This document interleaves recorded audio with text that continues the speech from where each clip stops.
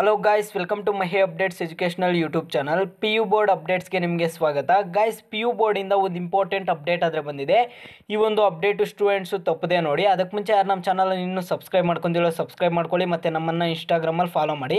ನಾನು ಆಲ್ರೆಡಿ ಈ ಒಂದು ಪಿ ಡಿ ಎಫನ್ನು ನಾನು ಇನ್ಸ್ಟಾಗ್ರಾಮಲ್ಲಿ ಪೋಸ್ಟ್ ಮಾಡಿದ್ದೀನಿ ನಿಮಗೆ ಇನ್ಸ್ಟಾಗ್ರಾಮ್ ಲಿಂಕ್ಸ್ ಎಲ್ಲ ಡಿಸ್ಕ್ರಿಪ್ಷನಲ್ಲಿರುತ್ತೆ ಈಗ ಡೈರೆಕ್ಟ್ ಟಾಪಿಕ್ಗೆ ಬರೋದಾದರೆ ನಿಮಗೆ ಪಿ ಯು ಬೋರ್ಡ್ ಕಡೆಯಿಂದ ಬಂದಿರೋ ಒಂದು ಅಪ್ಡೇಟ್ ಏನಂದರೆ ಎರಡು ಸಾವಿರದ ಇಪ್ಪತ್ತು ಇಪ್ಪತ್ತೊಂದನೇ ಸಾಲಿನ ಮೇ ಜೂನ್ ಎರಡು ಸಾವಿರದ ಇಪ್ಪತ್ತೊಂದರಲ್ಲಿ ನಡೆಯುವ ದ್ವಿತೀಯ ಪಿ ಯು ಸಿ ವಾರ್ಷಿಕ ಪರೀಕ್ಷೆಗೆ ಹಾಜರಾಗುವ ವಿದ್ಯಾರ್ಥಿಗಳ ಕರಡು ಪ್ರವೇಶ ಪತ್ರಗಳನ್ನು ಎಸ್ ಎ ಟಿ ಎಸ್ ಪೋರ್ಟಲ್ನಲ್ಲಿ ಪ್ರಕಟಿಸಿರುವ ಕುರಿತು ಅಂದರೆ ಗೈಸ್ ನಿಮ್ಮ ಒಂದು ಅಡ್ಮಿಷನ್ ಆರ್ಡರು ಇಲ್ಲಿ ಕರಡು ಪ್ರವೇಶ ಪತ್ರ ಅಂದರೆ ನಿಮ್ಮ ಒಂದು ಅಡ್ಮಿಷನ್ ಆರ್ಡರನ್ನು ಸ್ಯಾಟ್ಸ್ ಪೋರ್ಟಲಲ್ಲಿ ಅವೈಲೇಬಲ್ ಮಾಡಿದರೆ ಇದನ್ನು ಏನು ಮಾಡಬೇಕು ಅಂತ ನಿಮಗೆ ಡೀಟೇಲಾಗಿ ಹೇಳ್ತಾ ಹೋಗ್ತೀನಿ ನೋಡಿ ಮೇಲ್ಕಂಡ ವಿಷಯಕ್ಕೆ ಸಂಬಂಧಿಸಿದಂತೆ ಎರಡು ಸಾವಿರದ ಇಪ್ಪತ್ತು ಇಪ್ಪತ್ತೊಂದನೇ ಸಾಲಿನಲ್ಲಿ ನಡೆಯುವ ದ್ವಿತೀಯ ಪಿ ಯು ಸಿ ವಾರ್ಷಿಕ ಪರೀಕ್ಷೆಗಳನ್ನು ಮುಂದೂಡಲಾಗಿದೆ ಸದರಿ ಪರೀಕ್ಷೆಗೆ ಹಾಜರಾಗುವ ವಿದ್ಯಾರ್ಥಿಗಳ ಕರಡು ಪ್ರವೇಶ ಪತ್ರಗಳು ಎಸ್ ಎ ಟಿ ಎಸ್ ಪೋರ್ಟಲ್ನಲ್ಲಿ ದಿನಾಂಕ ಐದು ಐದು ಎರಡು ಸಾವಿರದ ಇಪ್ಪತ್ತೊಂದರಿಂದ ಲಭ್ಯವಿದೆ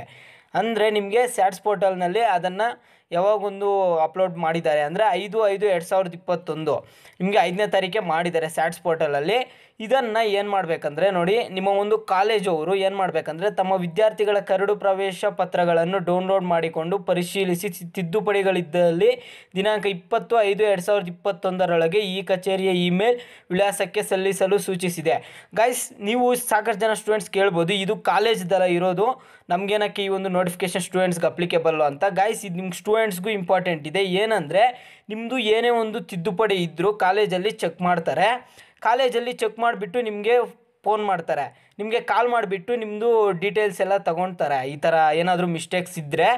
ಅವಾಗ ನೀವು ಯಾವುದೇ ಒಂದು ಕಾರಣಕ್ಕೂ ನಿಮ್ಮ ಕಾಲೇಜ್ ಕಡೆಯಿಂದ ಯಾವುದೇ ಕಾಲ್ ಬಂದರೂ ಇಗ್ನೋರ್ ಮಾಡೋಕ್ಕಂತೂ ಹೋಗಬೇಡಿ ಯಾಕಂದರೆ ಮತ್ತೆ ಪ್ರಾಬ್ಲಮ್ ಆಗುತ್ತೆ ನಿಮ್ಮನೆ ಒಂದು ನೇಮ್ಸ್ ಆಗ್ಬೋದು ಡೇಟ್ ಆಫ್ ಬರ್ತ್ ಆಗ್ಬೋದು ಈಗ ಕನ್ನಡ ಮೀಡಿಯಂ ಇಂಗ್ಲೀಷ್ ಮೀಡಿಯಂ ಈ ಥರ ಎಲ್ಲ ಸಾಕಷ್ಟು ಮಿಸ್ಟೇಕ್ಸ್ ಆದರೆ ಆಗಿದೆ ಸಾಕಷ್ಟು ಸರಿ ಲಾಸ್ಟ್ ಇಯರೆಲ್ಲ ಸಾಕಷ್ಟು ಜನ ಸ್ಟೂಡೆಂಟ್ಸ್ಗೆ ಆಗ್ತಿತ್ತು ಆದ್ದರಿಂದ ನಿಮ್ಮ ಕಾಲೇಜಲ್ಲಿ ಒಂದು ಸರಿ ಇದು ಮಾಡ್ತಾರೆ ಪರಿಶೀಲಿಸಿ ನೋಡಿ ಪತ್ರಗಳನ್ನು ಡೌನ್ಲೋಡ್ ಮಾಡಿಕೊಂಡು ಪರಿಶೀಲಿಸಿ ತಿದ್ದು ತಿದ್ದುಪಡಿಗಳಿದ್ದಲ್ಲಿ ಇಪ್ಪತ್ತೈದು ಎರಡು ಸಾವಿರದ ಇಪ್ಪತ್ತೊಂದರೊಳಗೆ ಈ ಕಚೇರಿಯ ಇಮೇಲ್ ವಿಳಾಸಕ್ಕೆ ಸಲ್ಲಿಸಲು ಸೂಚಿಸಿದೆ ನಿಮ್ದೇನಾದ್ರು ಮಿಸ್ಟೇಕ್ಸ್ ಇದ್ದರೆ ಕಾಲೇಜ್ ಕಡೆಯಿಂದ ಕಾಲ್ ಮಾಡ್ತಾರೆ ಆ ಒಂದು ಮಿಸ್ಟೇಕ್ಸು ಏನಿದೆ ಏನೋ ಅನ್ನೋದು ನಿಮ್ದೇನಾದರೂ ಒಂದು ಪ್ರೂಫ್ ಕೇಳ್ತಾರೆ ಇದ್ರದ್ದು ಏನಿದೆ ನಿಮ್ಮ ಒಂದು ಈ ಡೇಟಾ ಬರೆದು ಏನು ಪ್ರೂಫ್ ಇದೆ ಅಂತ ಎಲ್ಲ ಅವ್ರು ತಗೊಂಡ್ಮೇಲೆ ಈ ಒಂದು ಮೇಲ್ಗೆ ಅವ್ರು ನಿಮ್ಮ ಕಾಲೇಜವರೇ ಕಳಿಸ್ತಾರೆ ನಿಮ್ದೇನು ವರ್ಕ್ ಇರಲ್ಲ ನಿಮ್ಮ ಕಾಲೇಜ್ ಕಡೆಯಿಂದನೇ ಫೋನ್ ಮಾಡಿ ನಿಮ್ಮ ಹತ್ರ ಒಂದು ಇನ್ಫಾರ್ಮೇಷನ್ ತಗೊಂಡು ನಿಮಗೆ ಅವರು ಏನೊಂದು ಮಿಸ್ಟೇಕ್ಸ್ ಆದರೂ ಇದ್ದರೆ ಮೇಲ್ ಮಾಡ್ತಾರೆ ಮತ್ತು ಏನಂತ ಮೆನ್ಷನ್ ಮಾಡಿದ್ದಾರೆ ಅಂದರೆ ಕರಡು ಪ್ರವೇಶ ಪತ್ರದಲ್ಲಿ ತಿದ್ದುಪಡಿ ಇದ್ದಲ್ಲಿ ಅನುಸರಿಸಬೇಕಾದ ಕ್ರಮ ಎಸ್ ಎ ಟಿ ಎಸ್ನಲ್ಲಿ ಕರಡು ಪ್ರವೇಶ ಪತ್ರವನ್ನು ಡೌನ್ಲೋಡ್ ಮಾಡಿ ಮುದ್ರಿಸಿಕೊಂಡು ಅದರ ಮೇಲೆ ಅಗತ್ಯವಿರುವ ತಿದ್ದುಪಡಿಗಳನ್ನು ಕೆಂಪು ಶಾಯಿಯಿಂದ ಗುರುತು ಮಾಡುವುದು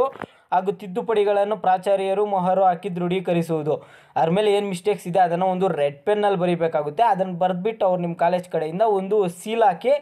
ಕಳಿಸಬೇಕಾಗುತ್ತೆ ಅಂತಹ ತಿದ್ದುಪಡಿಗಳನ್ನು ಮಾಡಿದ್ದ ಮಾಡಿದ್ದಕ್ಕಾಗಿ ದೃಢೀಕೃತ ಪೂರಕ ದಾಖಲೆಗಳ ಪಿ ಡಿ ಎಫ್ ಪ್ರತಿಯನ್ನು ಕ್ರೋಢೀಕರಿಸಿ ಸಿದ್ಧಪಡಿಸಿಕೊಳ್ಳುವುದು ಅಂದರೆ ನಿಮ್ದು ಏನು ಮಿಸ್ಟೇಕ್ ಇರುತ್ತೋ ಅದರದ್ದೊಂದು ಪ್ರೂಫು ನಮ್ಮದು ಈ ಥರ ಇರಬೇಕು ನೇಮು ಇಲ್ಲಿ ರಾಂಗ್ ಇದೆ ಅನ್ನೋದು ಈಗ ಆಧಾರ್ ಕಾರ್ಡಲ್ಲಿ ನಿಮ್ಮದು ಒಂದು ನೇಮ್ ಇರುತ್ತೆ ಅಡ್ಮಿಷನ್ ಆಡರಲ್ಲಿ ಒಂದು ನೇಮ್ ಬಂದವಾಗ ಅದರದ್ದೊಂದು ಪ್ರೂಫ್ ಅದನ್ನು ಕೊಡಬೇಕಾಗುತ್ತೆ ಅಷ್ಟೇ ಮತ್ತು ತಿದ್ದುಪಡಿ ಮಾಡಬೇಕಿರುವ ವಿದ್ಯಾರ್ಥಿಗಳ ಪ್ರವೇಶ ಪತ್ರಗಳ ವಿವರಗಳನ್ನು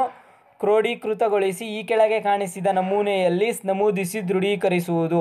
ನಿಮ್ಮದು ಏನು ತಿದ್ದುಪಡಿ ಮಾಡಬೇಕಾದ್ರು ವಿದ್ಯಾರ್ಥಿಗಳ ವಿವರಗಳನ್ನು ನಮೂನೆ ಅಂದ್ಬಿಟ್ಟು ಕೊಟ್ಟಿದ್ದಾರೆ ವಿದ್ಯಾರ್ಥಿ ಸಂಖ್ಯೆ ಮತ್ತು ಪ್ರವೇಶ ಪತ್ರದಲ್ಲಿ ತಪ್ಪಾಗಿ ಮುದ್ರಿತವಾಗಿರುವ ವಿದ್ಯಾರ್ಥಿಯ ತಂದೆಯ ತಾಯಿಯ ಹೆಸರು ತಿದ್ದುಪಡಿ ಮಾಡಬೇಕಾದ ಹೆಸರು ಪ್ರವೇಶ ಪತ್ರದಲ್ಲಿ ತಪ್ಪಾಗಿ ಮುದ್ರಿತವಾಗಿರುವ ವಿಷಯಗಳು ಮತ್ತು ಸಂಕೇತ ಸಂಖ್ಯೆ ಮತ್ತು ತಿದ್ದುಪಡಿ ಮಾಡಬೇಕಿರುವ ವಿಷಯಗಳು ಮತ್ತು ಸಂಕೇತ ಸಂಖ್ಯೆ ಶರ ನೋಡಿ ಕ್ರಮ ಸಂಖ್ಯೆ ಒಂದರಿಂದ ಮೂರ ರವರೆಗಿನ ಎಲ್ಲ ದಾಖಲೆಗಳನ್ನು ಒಂದೇ ಕಡತದಲ್ಲಿ ಸೂಚಿತ ಮೇಲ್ ವಿಳಾಸಕ್ಕೆ ಇಮೇಲ್ ಮಾಡುವುದು